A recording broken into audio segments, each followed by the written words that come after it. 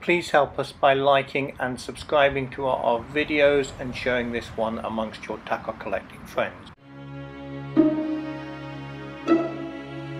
All of these boxes made by Wheatley are third party adapted to contain the rotary devices as fitted.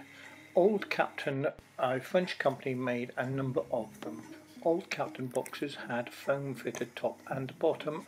The 6 inch box had four rotary devices.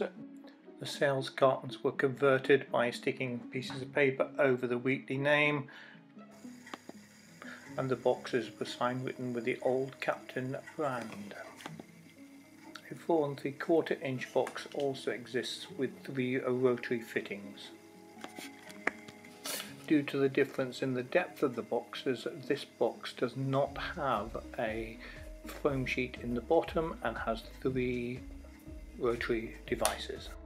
The Motion branded boxes appear identical to those marketed by Old Captain, including interiors and exteriors, except they have no foam sheet in the base. Our collection also contains an Orvis box with the same type of rotary device, however theirs only are slightly different that they have foam around the sides and the wood all of these boxes are difficult to find and the old Captain one's popular to use.